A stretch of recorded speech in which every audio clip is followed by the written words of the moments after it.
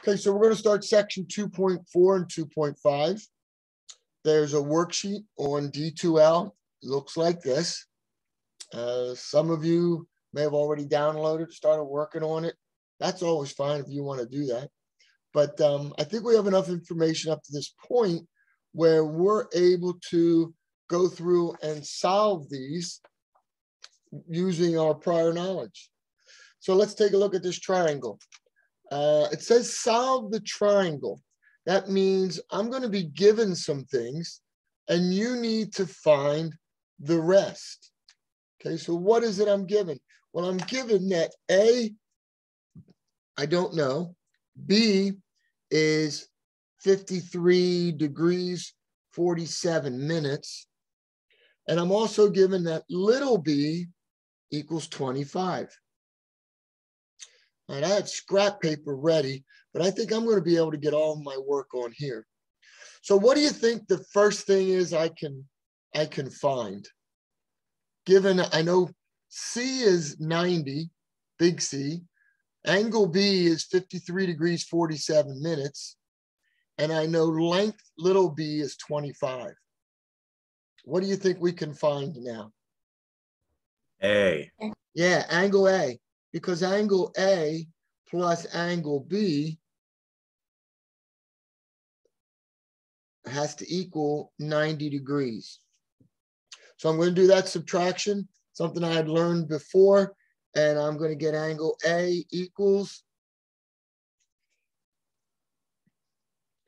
let's see, 90 degrees minus 53 degrees, 47 minutes. I'm going to borrow one, so that's now 89 degrees, 60 minutes.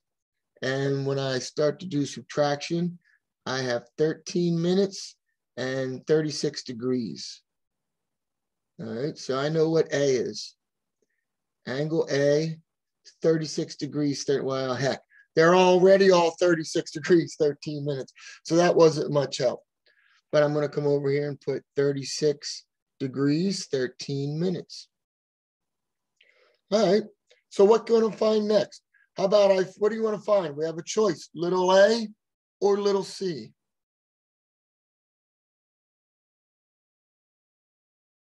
I know, it's a tough choice, right? It's a tough choice. C. C, let's find C. Let's calculate what C is. So I'm going to take this angle measure. I kind of like this one just because it's there for no reason. And I want to find C. And all of a sudden I'm going, wait a minute, I can find C because I can say the sine of A equals, here's A, sine of A equals, well, I don't know, opposite, crap. Maybe I shouldn't have used the sine. I think a little better choice may have been the cosine.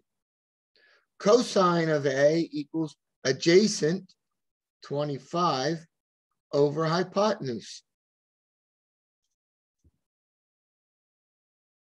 Maybe I should have used scratch paper.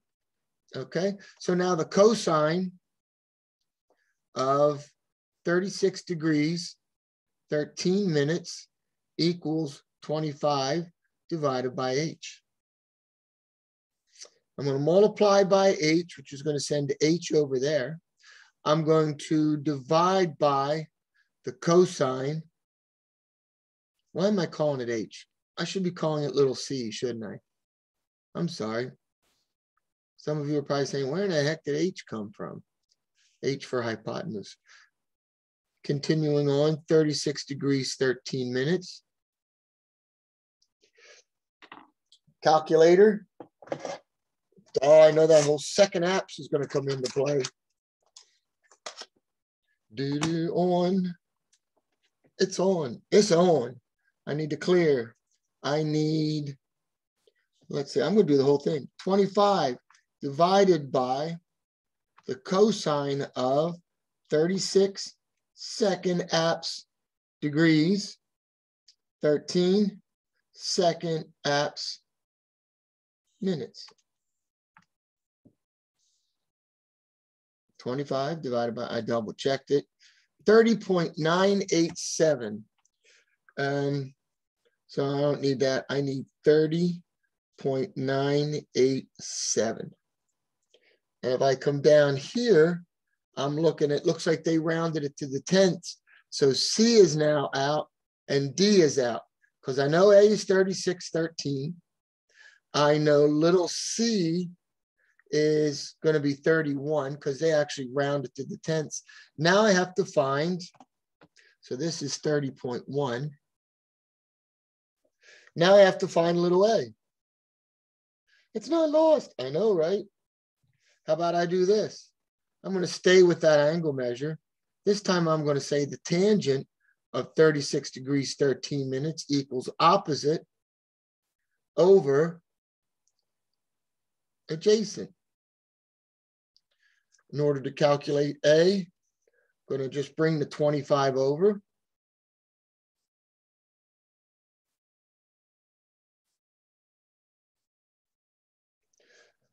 It's peanut butter jelly time or calculator time. Clear 25 times the tangent of 36 second apps degrees 13 second apps minutes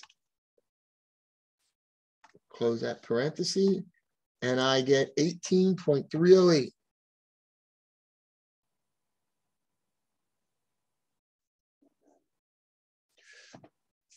18.3 I have a winner. B.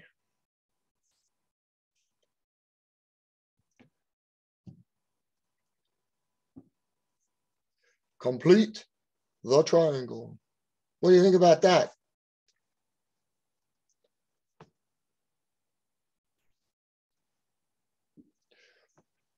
Good? All right. Number two, there's the second one. I'm going to pause the recording I'm going to give you about three minutes to work on that, and then we'll see what we got. Hang. Okay, so I'm looking at little a is 10.9. I have little b is 21.7. You want to find a. Okay, I want Yeah, to find ang- yeah, angle A equals opposite 10.9 over 21.7. Good. Great way to start. Once I find the value of angle A, I can find the value of angle B. Could I, at this point right now, find little c, length C? Yeah. Yeah, by doing what? Pythagorean theorem. Yeah, A squared plus B squared equals C squared. So I here's one way to find A by doing the tangent of those. Here's how to find the value for the length C. Could I have done this to find B? The tangent of B equals opposite 21.7 over adjacent 10.9. So three different things that I could use to find those values. Lots of different ways to do it. I could have found C, and then I could have said, well, the sine of A equals opposite over adjacent. Once I found the value for C over here.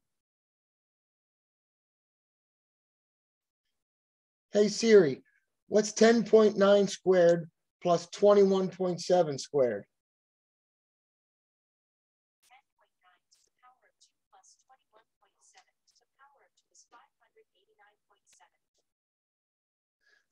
Hey Siri, what's the square root of 5 eight, nine point seven. The square root of 590.0 is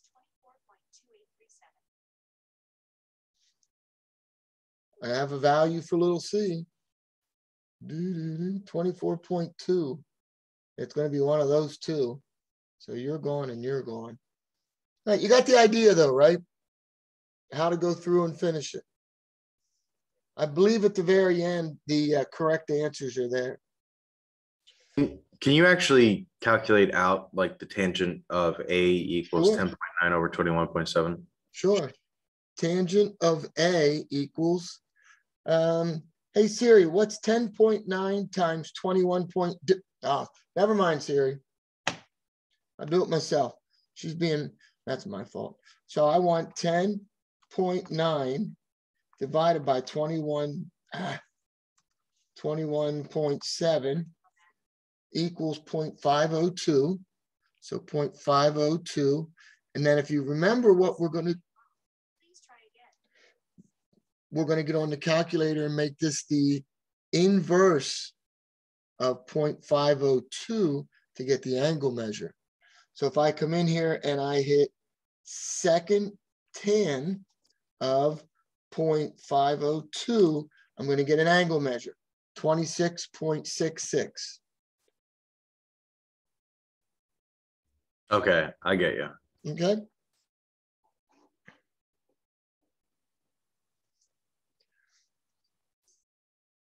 All right, well, there's another one.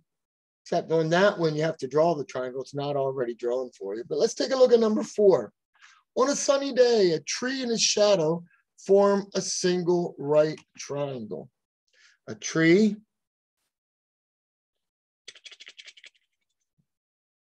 Bad tree, real bad tree. And its shadow form a right triangle. Okay, it's a bad right, right angle. All right. Um, if the hypotenuse is 40 meters long and the tree is 32 meters tall, how long is the shadow? How long is the shadow? Well, I know this. Shadow squared plus 32 squared equals 40 squared. Hey Siri, what's 32 squared? Thirty-two raised to the second power is one thousand twenty-four. 1600. Hey Siri, what is 1600 minus 1024? I don't know why I asked her. I have my own. Hey Siri, what's the square root of 576? The square root of five hundred seventy-six is twenty-four.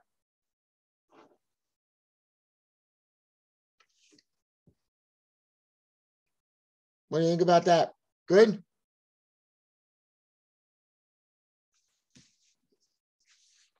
Hey, Sergio's here.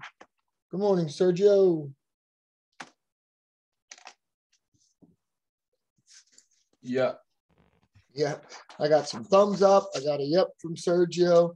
So this whole section is dealing, like I said before, with all of these things we know. We're just trying to now put them all together. And yeah, you know, I, I up at our cabin, we um we had a tree that we were going to cut down, but we were afraid it was going to hit the cabin. And and I did a little of this and a little of that, and we figured how big the tree was and checked it out. Luckily, we were able to cut it and it went a different direction. But I wanted to make sure it wasn't going to land on our cabin. So yeah, once in a while, this trig stuff works. Oh boy, look at five. A a cons- conservation officer needs to know the width of a river in order to set instruments correctly for a study of, all right, so this is what we need to find. Because here's the river. So we need to find this. And we, you know, we could call this R if we want. We can give it a big name. All right, you know, anything we want.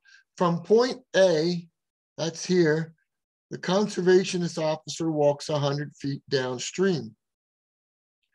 Uh, yeah, and then there are ways for you to be able to do angle measures, but he comes up with this to be a 30 degree angle. How wide is the river? Somebody give, let me have a formula.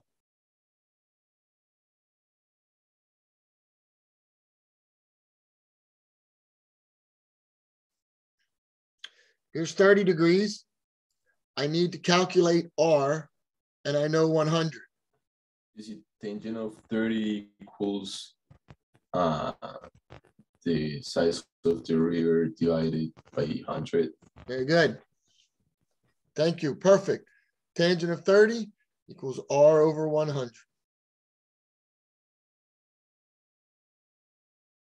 Hey Siri, what's 100 times the tangent of 30 degrees?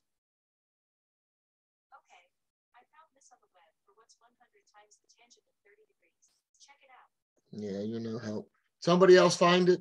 Somebody else able to calculate it? I guess fifty-eight rounded up, You like B? I think, yeah. All right, cool. I'm gonna take a look at number six. Number six, from a boat on a river below a dam. So here's the river. I should use blue. Here's the river. What, what, what, what?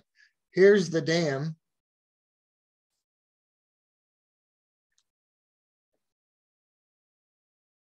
A fish was swimming along in the river and ran into something solid. What did it say? Damn. Eh, oh boy. It's good everybody's muted because I'm sure the laughter would be overwhelming. So, from a boat on the river, from the boat, which is right here, the angle of elevation. That means if I stand here and look up, that is what's called the angle of elevation. The angle of elevation, don't, don't worry about that part. The angle of elevation is 14 degrees, 14 degrees, 57 minutes. If the dam is 1,286 feet above the level of the river, 1,286 feet, how far is the boat from the dam? I need to find this distance. I'll call it D. Looks like we have a nice formula we can use again, right?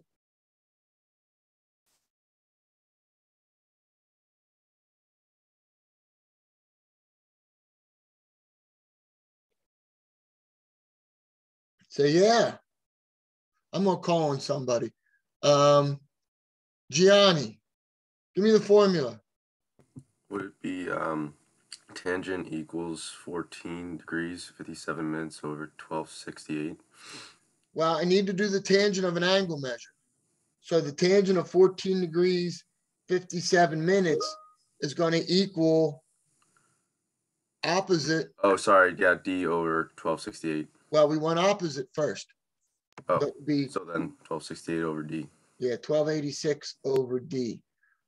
So I'm going to multiply by D and I'm going to divide by the tangent of 14 degrees, 57 minutes.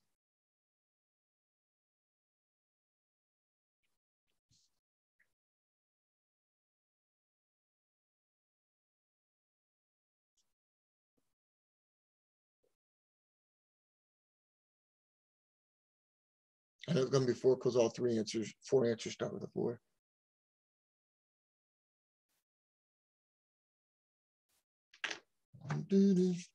It's peanut butter jelly time. One, two, eight, six divided by the tangent of fourteen degrees, fifty-seven minutes.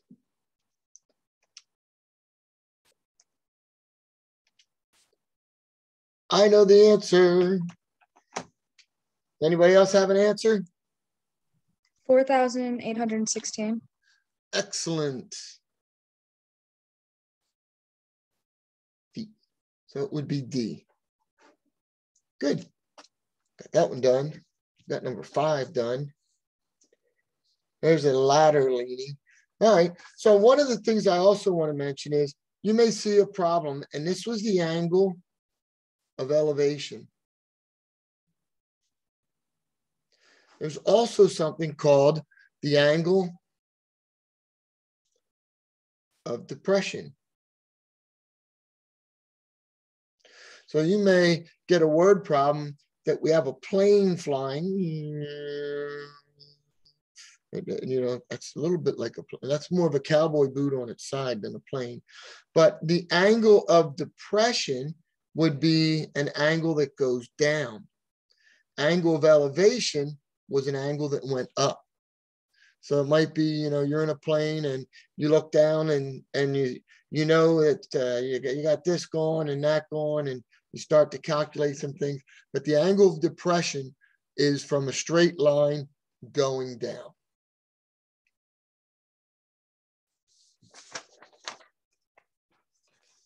Cool beans. I go through a lot of paper. All right, so now let's move on. We're going to start to get into some some uh, an observer, the radar station, the point. Yeah, we're going to get into some of these right here. They're called bearing problems. Bearing problems never made sense till about two years ago. I was out on a boat, and it was a, a bigger boat, and they had all this bearing stuff going on, and I'm like, okay, this, yeah, this is um kind of cool to actually put it into play. An observer for a radio station is located at the origin of the coordinate system. So the origin of the coordinate system is going to be right here. Okay. For the point given, find the bearing of an airplane located at that point. So the point is six. One, two, three, four, five, six, and six. One, two, three, four, five, and six. So it's over there. All right, well, if this is six and this is six, and I go to make a triangle kind of deal, right? And this is six. What angle measure is that? 45. Very good. 45 degrees. Now, bearing is going to be um, taken two different ways. Okay. The first way is what you see in front of us, where, you know, well, yeah, all of these say, um, what, what's, what's the bearing? Well, 45 degrees. All right. So these are going to be given with these two numbers. And I'm going to start at this point, and you all know where north is and south is, and hopefully this is east and this is west in your world. And to get here, I'm going to go one of these. Let's see. I don't think I'm going to go south at all. Let's see what this one is. North 45 degrees west. Well, north 45 degrees west would be that way. I think I want this guy. North, I want to go north 45 degrees because that's opposite that one. That has to be 45 to the east. So a way to give a bearing is start at the origin, go north or south, and then make an angle turn to the either the east or the west.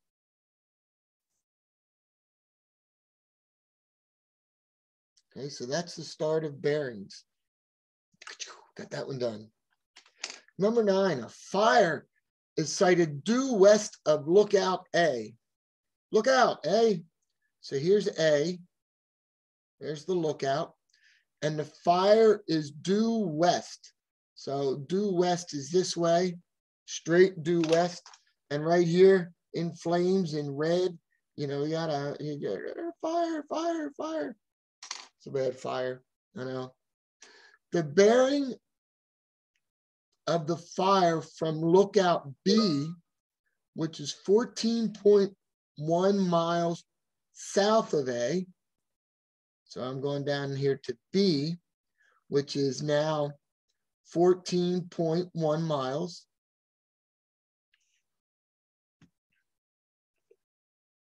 Is north 32.57 degrees west. So if I start here and I go north 37, 32.5 degrees west, that's this angle measure. 32 degrees, 57 minutes, yeah, yeah, yeah, yeah, is to there. A fire started due west of lookout A. Up here's A. There it is. The bearing of the fire from lookout B, which is 14.1 miles south, is 32 degrees 57. So from this spot, I'm going north and then turning 32 degrees 57 minutes to the west. How far is the fire from B? So I need to find this distance right here.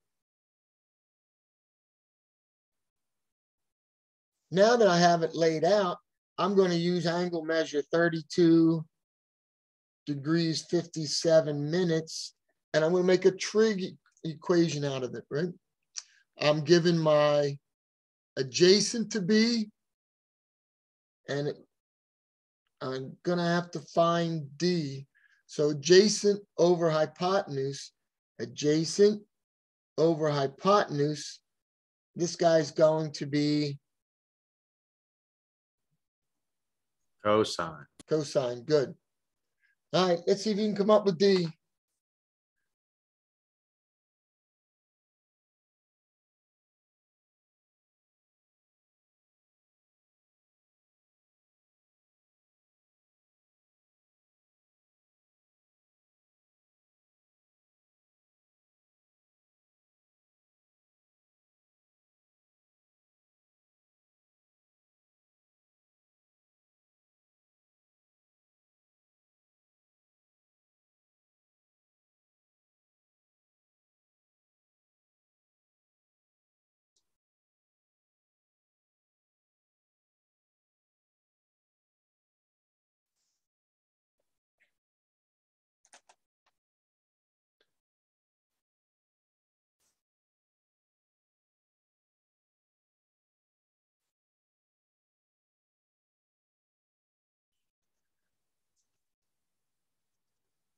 And then did we get a D? Sixteen point eight. Sixteen point eight. Nice. Nine is done. Questions? Uh-uh. We have a couple here. Ten and eleven look a little similar. Pick up, but let's just pick one. Let's go with eleven down here on the bottom. Ship travels through the night. A ship travels ninety seven meters on a bearing of 34 degrees. Okay, this one is different. This is a different bearing than these two. Up above, they gave me north or south and then west. This one's just giving me a degree measure. And I've had students in class, like, yeah, I was in the Navy and we had to learn both of those and, and so on. All right, so we're going to take a look at 11 and how does this work? Well, we are going to do bearings by going up and turning right. So it's almost like a northeast thing. So a ship travels 97 kilometers on a bearing of 31 degrees. That means this guy right here is going to be 31 degrees. And this ship travels 97 kilometers. Okay. And then travels on a bearing of 121 degrees. So now I'm going to kind of do this again up here because I'm going to face north.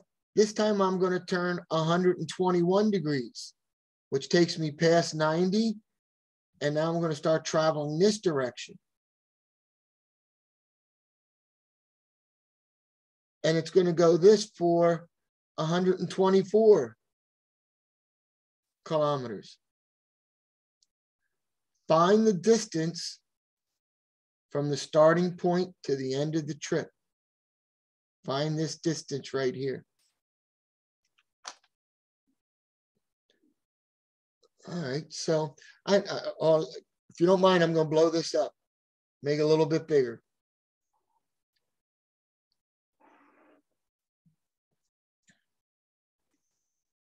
So that's 97 at a bearing of 31 degrees.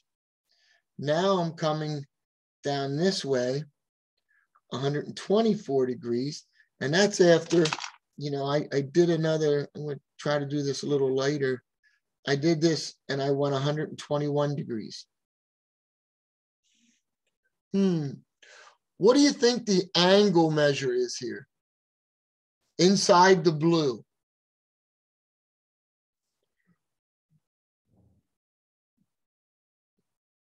Forty-five. 45? No. So if I did a straight line, right? This is 121. What would the rest of the way be? Well, it has to be 180. Agreed? So I'm gonna go 50, 59. 59 degrees, okay? So right in here is 59 degrees. This line and this line, would you agree these two lines are parallel? Yeah. Yes. And there was a thing called alternate interior angles being the same. So what do you think the measure is where my pencil point is right now? 31. 31. And if I add those two together, 31 and 59, son of a gun, it's a right angle in there. That's awesome sauce. So now I have a right triangle. It's not drawn very well to proportion, but I have a right triangle. This is 90 degrees. So if I know this distance is 97, this distance is 24, and this is my hypotenuse, I don't even need anything else with the angle measures because I need to calculate D. 97 squared plus 124 squared equals D squared. No way, way, way. So a non-directional bearing always starts at the y-axis and goes clockwise. That's going to start with the X. So if I say, if I say 45 degrees, it's going to go up and turn 45 degrees. So it'll be going that direction. If I said 190 degrees, I'm going to face north and start turning 90, 180, right to there. So it would be going in that direction because this is the 190 degrees. Oh, I'm sorry. I would start here facing north and I would turn to my right 90, 180 to get to there. So really it would be heading that direction, looking at a map. Okay, and is there such thing as a negative bearing? Not that I've ever heard of. Nice, cool. Yep. That's it. Yep. Yeah, that's fine. I mean, and you're thinking 350 degrees would go all the way around to about here. So that's how you would get in that northwest area. Okay. I, I moved my paper, but did someone get an answer here? 97 squared plus 124 squared. And then take the square root of that. I got 157. Is that one of the choices? Bam, there, whoop, there it is. Nice job. So we have that one done. All right, so we're just doing problems and we're learning uh, different things from doing problems, like the bearings today. Oh man, oh man, oh man. Somebody say, oh man, oh man, oh man. Man, oh man, oh man. All right, this one, we got our work cut out for us.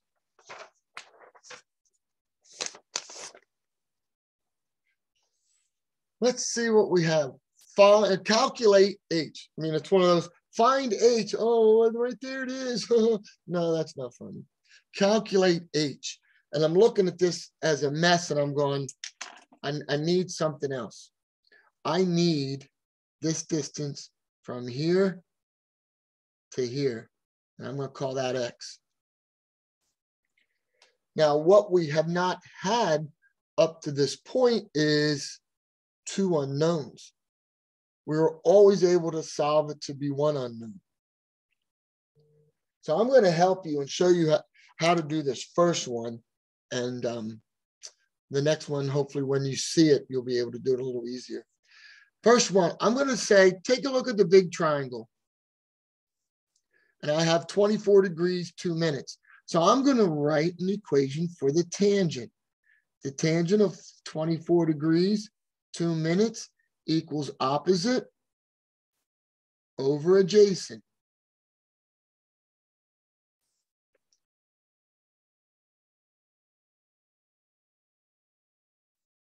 Now I'm going to say the tangent of 56.5 degrees equals h over x.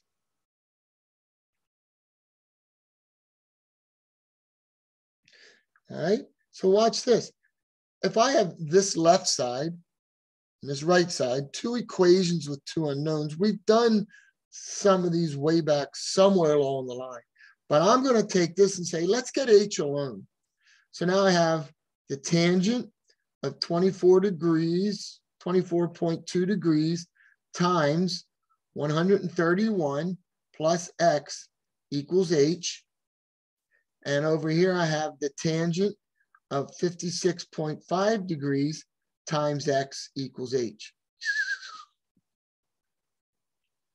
Now, if they both equal h, then I know that they have to equal each other. So my next statement, I'm actually going to make this a little bit easier on myself right now as well. I'm going to say, what is the tangent 24.2? 4.449. 0.449 times 131 plus x equals, I'm going to do the tangent of 56.5. I get 1.51, 1.51 x. So I started with two equations, two unknowns, got them both to equal each other.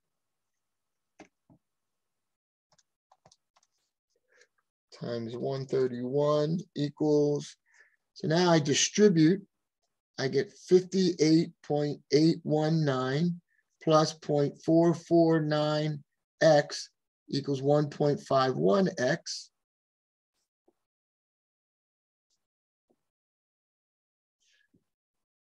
One point five one minus 0.449, 1.061x.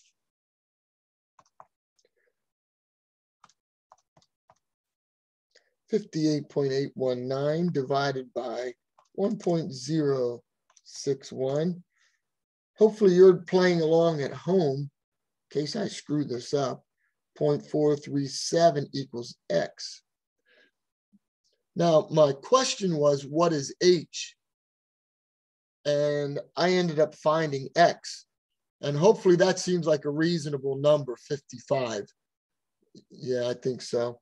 So how do, how do I calculate given x? Well, I'm just going to go right back up here, say, oh, I need to find h. And I know from this equation, if I know what x is, I can just multiply that by the tangent of 56.6, excuse me, 0.5. And I get my result. H is 83.75. And it looks like it wants me to round up. And I think 84 is going to be my answer. Whoa. It's got a lot of elements. It's got a lot of pieces, yeah. And seeing it once is great. And then doing it is another thing. But once you see how to do it, it's like, okay, yeah. Usinus trig functions. That's kind of cool. Measure that angle and move on, you know, a certain amount and you get a new angle measure. You can figure out how high that is. Because there's like snakes and stuff in this area where X is. You don't want to walk there. I don't like spiders or snakes, but that ain't what it takes. Cool. So if I go back to the beginning, we did number one. That one's done. We did number two and we did number four. So number three, I'm going to put that on my note here. Number three, as you can see, single PDF. Not today, for the test. We did five and six. So here's number seven and number 10. So three problems that we didn't do. I'm going to let for you to do. I'm going to put you in pairs. And when you're done, we're done. Come back and say, we're done and head on out. And um, that's where we're going to stop for today.